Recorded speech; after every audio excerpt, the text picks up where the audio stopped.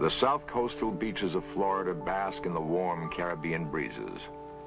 But the tranquil waters might obscure a mysterious phenomenon that preys on those who venture into the coastal area.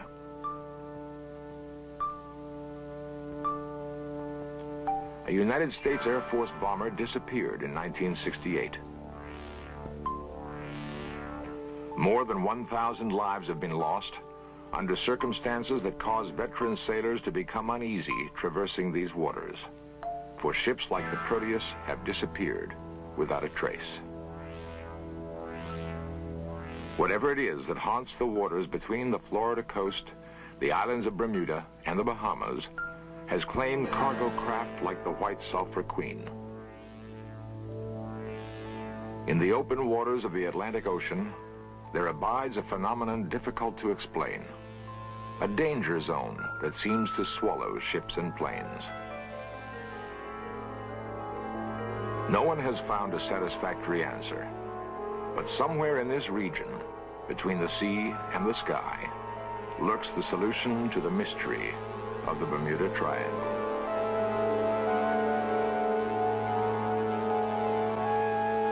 It lies off the coast of Florida, an area of some 60,000 square miles in which lurks the mystery of the Bermuda Triangle.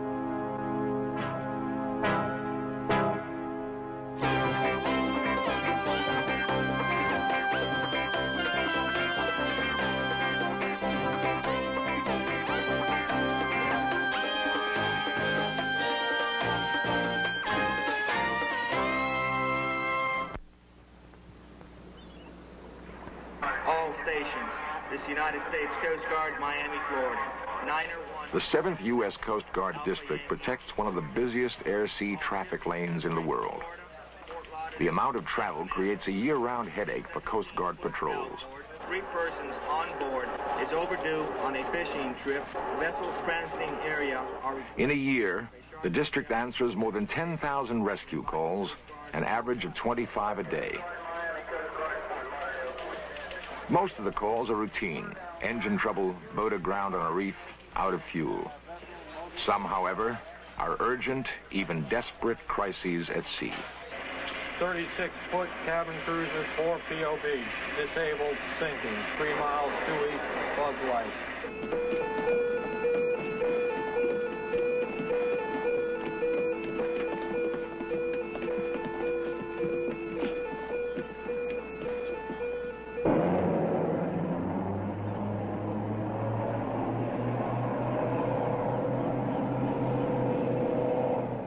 Within seconds of a confirmed emergency, veteran Coast Guard rescue crews head for distressed boats.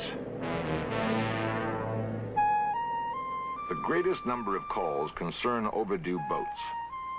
Some cases stem simply from the anxiety of shorebound relatives. Others are caused by the vast number of inexperienced weekend sailors, long on daring, but short on navigation skills. And then there are the other cases, the disappearances that cannot be explained. They occur most often in a triangle-shaped wedge bounded by Florida, the Bahamas, and the island of Bermuda, the so-called Bermuda Triangle. The search for solution to the Bermuda Triangle mystery has been abandoned by some experts who claim there is no mystery. On a television program underwritten in part by a National Science Foundation, the statement was made that science does not have to investigate the Bermuda Triangle. Each disappearance, the program contended, can be readily explained. The only possibilities not taken into consideration by that statement are the personal stories of individuals who've been involved in strange occurrences. Somewhere in these stories, the clues may exist that will open the way to the final solution of the Bermuda Triangle mystery. A Coast Guard cutter sails for home. It's the same kind of vessel that once carried a young lieutenant named Frank Flynn. We came on watch at just before midnight. Everything was perfect. It was a flat, calm night. The uh, winds were gentle, ceiling and visibility unlimited. Just a perfect night. Frank Flynn was a 20-year career officer in the Coast Guard. He rose to the rank of lieutenant commander before retiring. He has sailed in the Bermuda Triangle many times in his military career. Only once did something mysterious happen. Only once. At about 1.30 in the morning, I glanced by the radar, and uh, a solid green line caught my eye on the radar scope. And uh, called my assistant over, and I said, what do you think of this? It was a little surprising, and uh, says, it looks like land. I said, agree. At that point, I went over, ran a recheck of the Loran fix because we were said to be 100, 165 miles offshore. We approached the unknown radar target rather carefully, and it appeared to be a uh, just a gray wall. It was very, very surprising. I'd never encountered anything like this.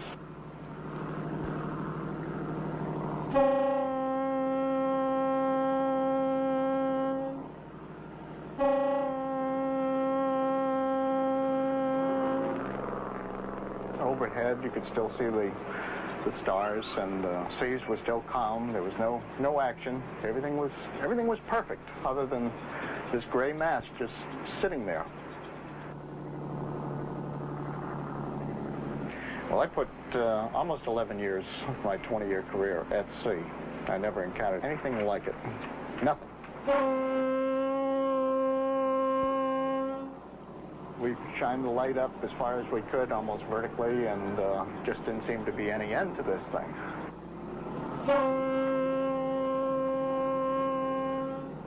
I was on the port wing of the bridge and uh, looked up at the carbon arc light. I could just barely see a, a very dull glow.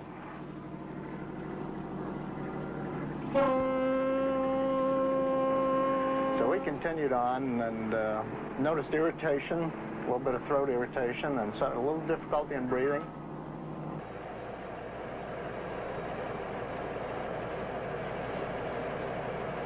The uh, engine room called indicating they were having a little problems with steam pressure.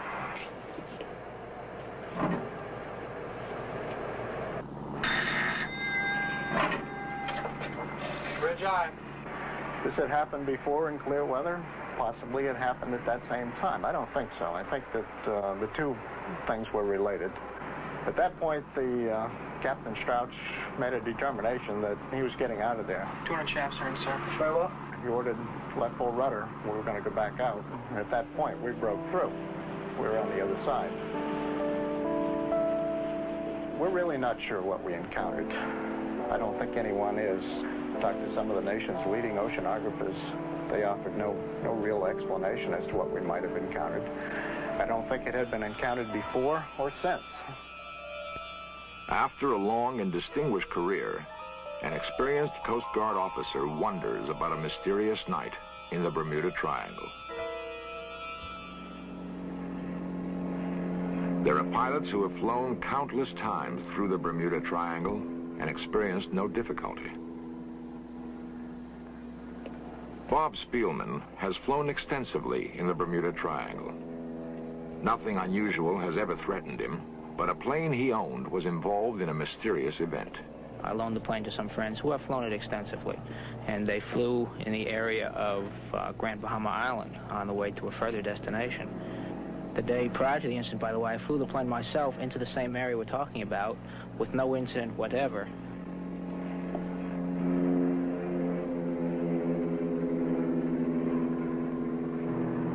Weather was considered fantastic, the finest flying weather possible, ceiling and visibility unlimited, uh, the kind of weather that any pilot dreams about.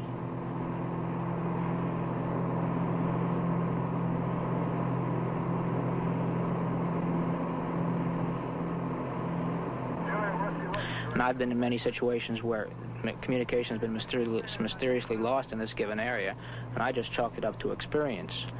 But uh, even after looking into it carefully and looking into all of the gadgetry on board the aircraft, there's no explanation as to why. Atmospheric conditions didn't explain it.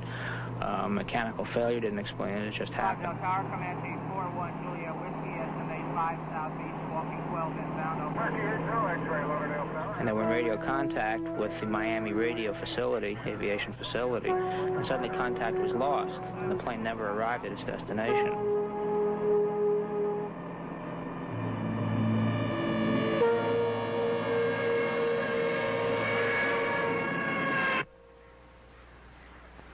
Somehow, the triangle had claimed five victims on a clear day in good weather. And there was no way to explain the origin of the accident. The following day, I went with FAA investigators to the scene of the accident. And they uh, went through the wreckage very carefully, took some parts from the aircraft back to the United States. And they found through their extensive investigation that uh, one of the main wing structures that held the wing in place was subjected such, to such a terrific force that it wrenched the wing right off the airplane. And it's their statement that uh, it's unbelievable that such a force could exist, specifically because the damage was done to only one part of the aircraft, where everything else was relatively intact. Communications lost, a plane strangely missing. Both stand as consequences of a force that somehow exists. When our search continues, we will seek explanations of the Bermuda Triangle mystery.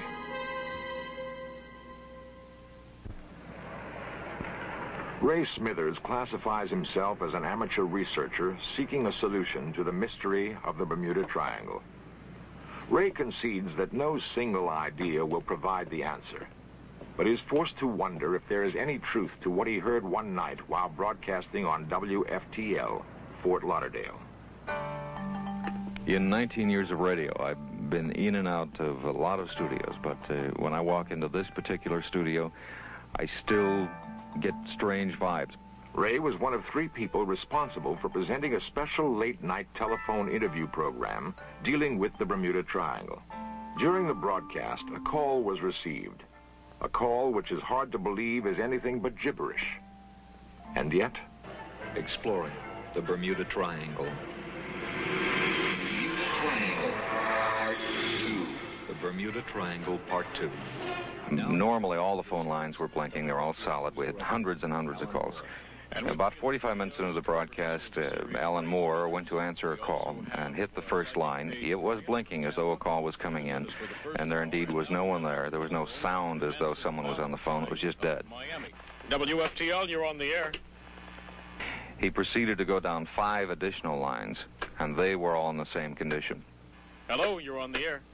Uh, finally, on the sixth line, our caller started making a statement. Hello.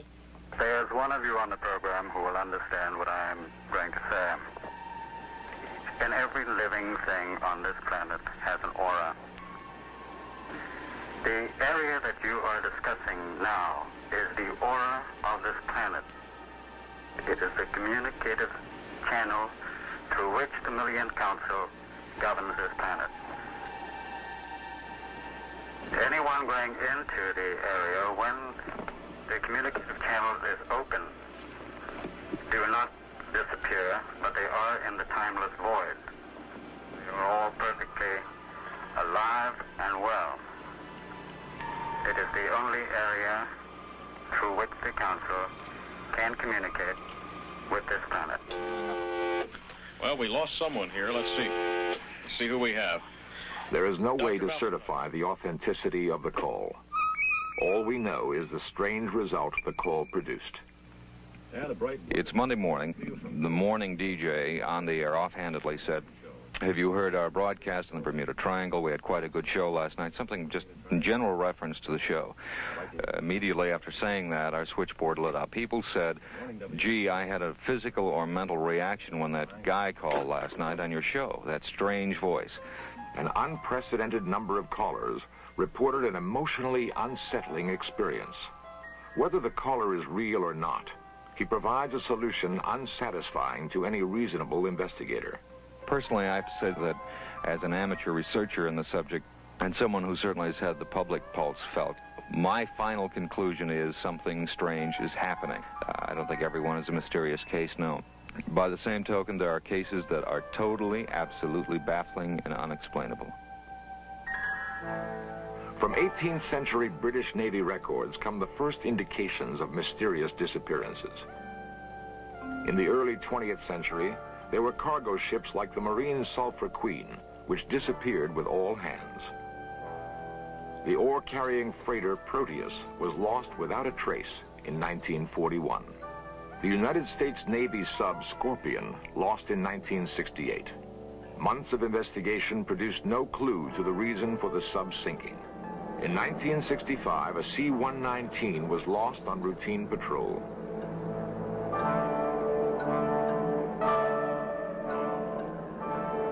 And perhaps the best-known disappearance of all, the story of Flight 19, a squadron of Navy planes lost in December of 1945. The squadron had a triangle out east and northeast of us to uh, fly as navigation training.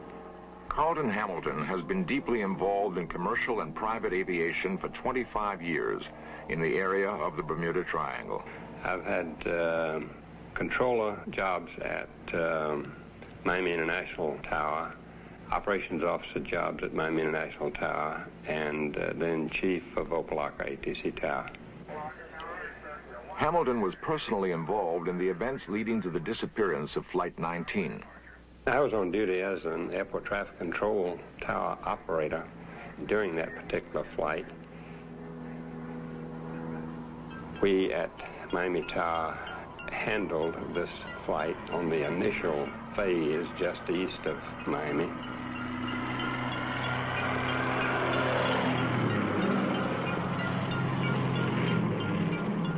The flight departed on an instrument flight plan.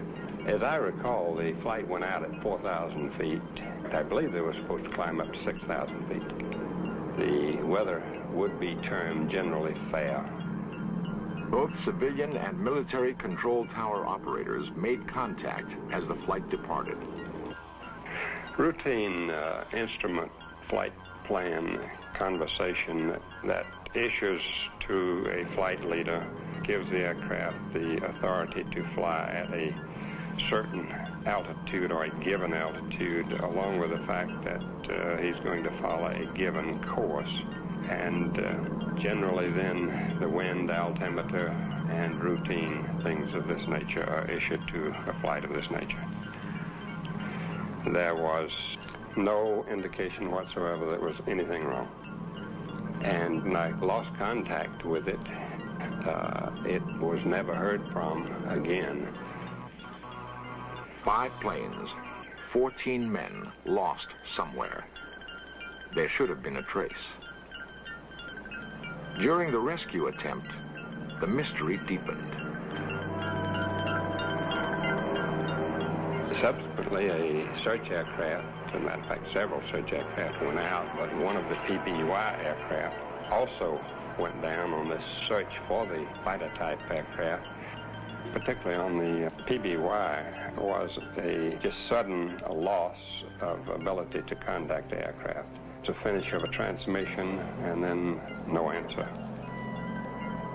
250 planes and ships discovered no trace of the missing squadron.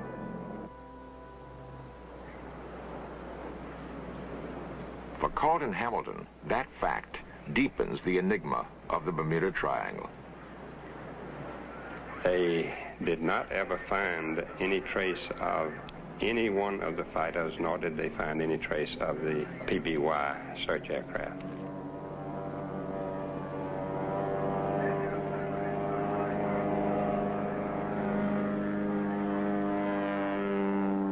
He himself survived what can only be termed still another mystery of the region. I have been on one occasion myself flying with a friend in a twin Beechcraft, and we were just offshore of Miami Beach. And we lost all lights and all navigation in the airplane. In many Bermuda Triangle disappearances, the sequence of events begins with a loss of radar and navigation capability. And just before we landed, all the lights and the navigation equipment come back on in the airplane. And we've never had any explanation for this, never found any explanation for it. But this actually happened.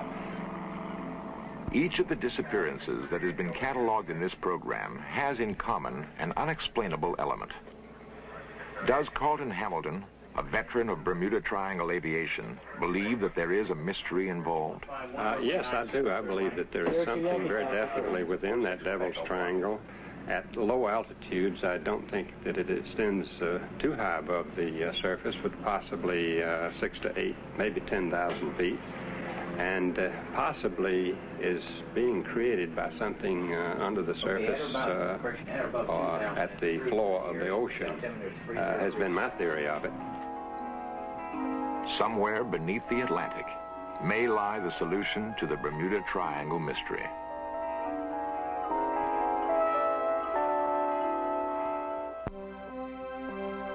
A veteran Naval Coast Guard officer encounters a strange phenomenon in the Bermuda Triangle. A pilot with many hours of flying time finds his plane torn apart by an unknown force. Broadcaster receives a message so strange it can be called otherworldly. A control tower operator earnestly believes that the mystery of the triangle is linked to the strange force.